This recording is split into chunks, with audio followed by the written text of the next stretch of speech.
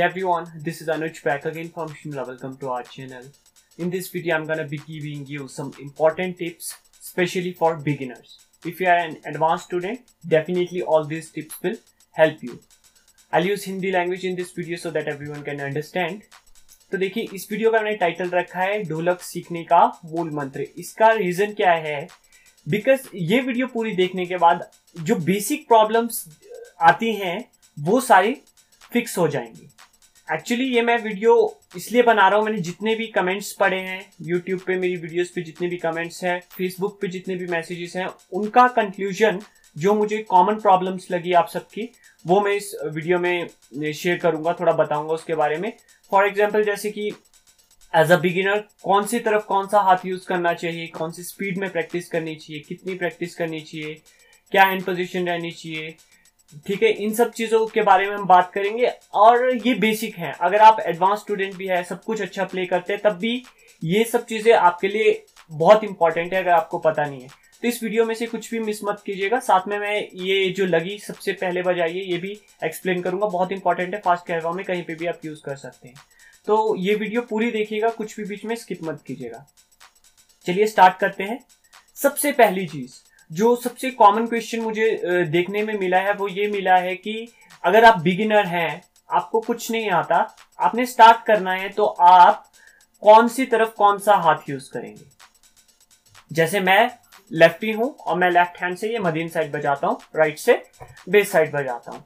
But ये चीज़ सबके लिए अप्लाई नहीं होगी। अगर आप राइट हैंडेड है तो आप राइट हैंड से ये मदीन साइड प्ले करेंगे एंड लेफ़्ट से बेस प्ले करेंगे। अगर आप लेफ़्ट हैंडेड है मेरी तरह से तो आप लेफ़्ट से मदीन प्ले करेंगे एंड राइट से बेस प्ले करेंगे। अब प्रॉब्लम आती है कि जब हम स्टार्टिंग करते हैं इट मीन्स कि फ़र्स्ट टाइम अगर हम ढोलक टच कर रहे हैं तो कुछ भी समझ नहीं आता किस तरह से। अभी देखिए, अगर मैं बजाऊं, सब कुछ नॉर्मल है, सब कुछ सही है। बट अगर मैं इसको इस तरह से पकड़ू, अब मैं बिल्कुल आपकी तरह हो गया हूँ। कि इस तरह से मैं ढोलक को फ़र्स्ट टाइम टच कर रहा हूँ अपनी पूरी लाइफ में। अब अगर मैं बजाऊँगा तो मुझसे नहीं बजेगा।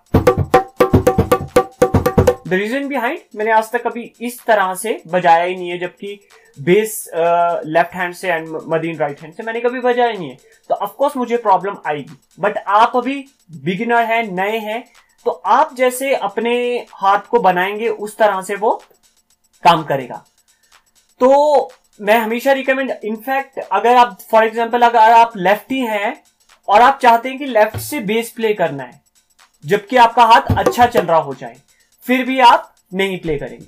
बिकॉज़ वो उस टाइम के लिए अच्छा चल रहा है, ठीक है, एक दो पैटर्न में अच्छा चलेगा बट फ्यूचर में अगर आप एडवांस्ड चीज़ें बजाएँगे तो वो पॉसिबल नहीं होगा। अगर आपको एडवांस चीज़ें बजानी है तो जो आपका हाथ मेन है राइट हैंड है और लेफ़्ट हैंड है, आप उसको मदीन साइड यूज़ करेंगे। पहली इंपॉर्टेंट चीज़। सेकेंड मैंने एक प्रॉब्लम देखी है। इनफैक्ट जो मेरे स्टूडेंट्स हैं, उनमें भी ये प्रॉब्लम है कि ढोलक पे हाथ प्लेस कहाँ पे करना है? यहाँ करना है, यहाँ करना है, यहाँ करना है, यहाँ करना है। मतलब कि कुछ लोग ऐसे बजाते हैं, मैंने बहुत देखे हैं। कुछ लोग ऐसे बजाते हैं, कुछ लोग ऐसे भी देखे हैं। ठीक है? तो सबसे इंपॉर्टेंट है कि हाथ प्लेस कहाँ पे करना है हमें। ठीक है? देखिए, अगर आप एडवांस स्टूडेंट है, तब भी हो सकता है कि शायद आप गलत जगह प्ले करते हो। तो ये भी डिपेंड करता है पैटर्न टू पैटर्न पे बट जो हम बेसिक फॉर्मूला एक फॉलो करते हैं हर जगह, वो देखिए आपकी इसे आप एज अ वॉल क्लॉक लीजिए, सबसे टॉप में ट्वेल्व सबसे बॉटम में सिक्स ऑपोजिट में नाइन एंड हमारी तरफ़ इधर थ्री हमने कहा प्ले करना है? हमने प्ले करना है थ्री एंड नाइन के बीच में। इससे आप यहाँ प्ले करेंगे। इसका बेनिफिट ये कि आप इधर उधर नहीं होंगे। ठीक है? कभी आप आज प्रैक्टिस करें आप आज आप सही जगह कर रहे हैं कल को हो सकता है कि आप जगह भूल जाओ एंड आप यहाँ पे प्रैक्टिस करो। तो इस फॉर्मूला को अप्लाई करके आप एग्जैक्ट पोजीशन में प्ले कर पाएँगे। अब हम एक चीज़ करते हैं। ये जो मैंने लगी सबसे स्टार्टिंग में बजाई थी वो मैं आपको सिखाता हूँ। बहुत इंपॉर्टेंट है कहीं भी, भी बजा सकते हैं। मैं बताऊँगा कहाँ कहाँ बजा सकते हैं इसे। बट उससे पहले मैंने एक इन्फॉर्मेशन देनी थी। आपको याद होगा मैंने अपनी पहले कुछ वीडियोस में एक अनाउंसमेंट की थी कि आप मंथली टू हंड्रेड रुपीज़ पे करके व्हाट्सएप पे गाइडेंस ले सकते हैं। गाइडेंस राइट अभी अराउंड 500 मैसेजेस पेंडिंग है वहाँ पे। मैं देख नहीं पाया। उसके पीछे रीजन ये है कि मैं कुछ टाइम से बीमार था, इसलिए वीडियोस भी अपलोड नहीं कर पाया। तो और सेकंड चीज़ ये है कि काफ़ी लोग मुझे वहाँ पे like guidance and training difference है इस चीज़ में राइट right? तो आप अगर अपने किसी लोकल एरिया में भी ट्रेनिंग लेंगे म्यूज़िक की तो टू हंड्रेड रुपीज़ में ट्रेनिंग कहीं नहीं मिल सकती राइट right? तो गाइडेंस की जगह मेरे लिए थोड़ा मुश्किल रहेगा कि अभी मेरे 500 लोगों के मैसेजेस पेंडिंग है तो 500 लोगों को ट्रेनिंग देना टफ चीज़ है है ना टाइम लगेगा और टाइम की बहुत कमी है। अभी मैं कल की बात बताऊँ, कल कोई एक भाई साहब मुझे कॉन्टिन्यूसली कॉल कर रहे थे।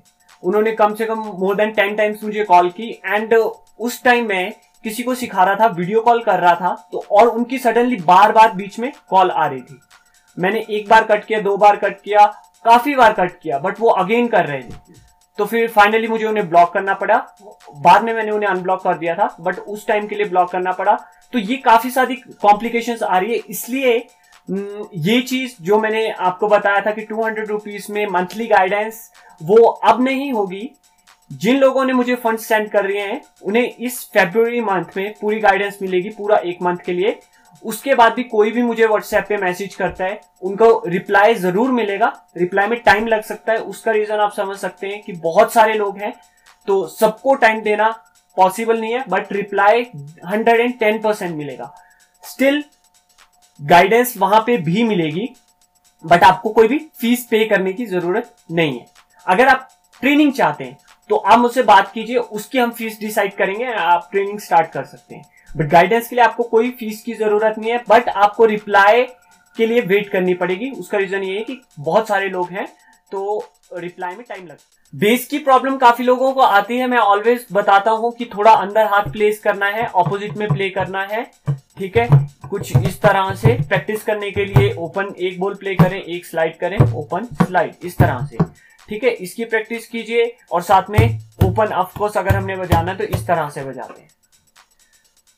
सेकेंड इंपॉर्टेंट चीज़ कि मैं, मैंने बहुत लोग देखे हैं कि अगर अभी फ़र्स्ट टाइम बजा रहे हैं, कोई भी चीज़ फ़र्स्ट टाइम बजा रहे हैं, उसको बहुत फास्ट बजाना स्टार्ट करते हैं। फ़र्स्ट टाइम ये गलत चीज़ है। होगा क्या कि वो चीज़ एग्जैक्ट नहीं हो पाएगी?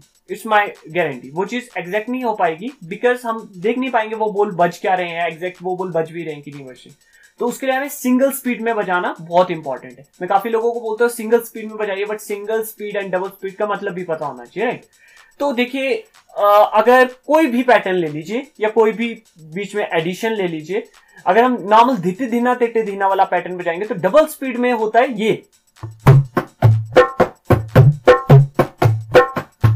धिटे धीना तिटे धीना धिटे धीना तिटे धीना। सिंगल अगर हम इसका करें तो धी ट धी ना टी ट धी ना धी ट धी ना डबल धीना धिक्ते धीना धिक्ते धीना धिक्ते धीना धिक्ते धीना चलिए अब बात करते हैं कि अगर हमने ये लगी प्ले करनी है जो मैंने अभी स्टार्टिंग में प्ले की थी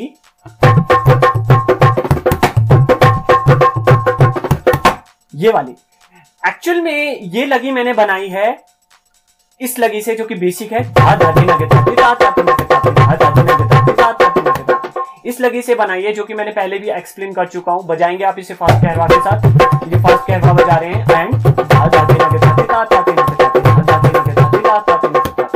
आइए इसी को आप दुगन के साथ बजा सकते हैं। नाउ अब वाली जो है, इसमें थोड़ी सी हमने टक बना दिया इसको थोड़ी सी कुछ चीज़ें इसमें ऐड की है। तो इसके मैं बोल बताता हूँ आपको। धा धा, धी धाती धाती धा धाती धाती धा धाती नग धाती धाती धाती राइट धा नग धाती तक तक ताती। कैसे प्ले करेंगे? फ़र्स्ट हाफ़ एग्जैक्टली वैसा ही है जैसा हमने पहले वाली लगी में किया था, जो कि धा धाधी नग धाती।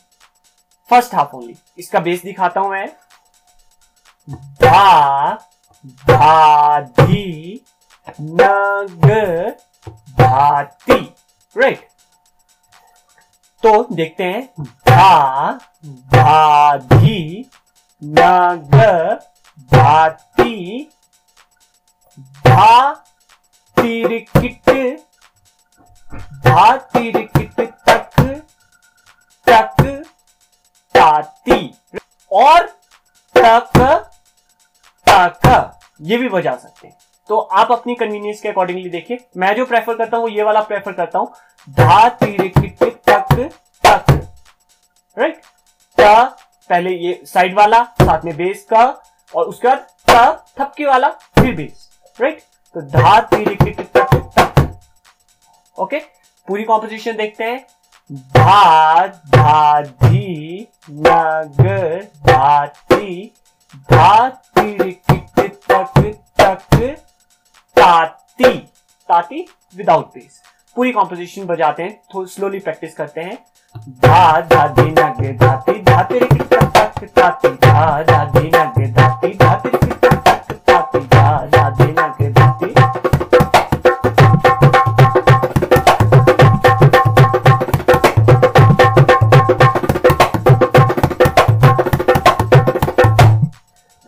बहुत इंटरेस्टिंग है।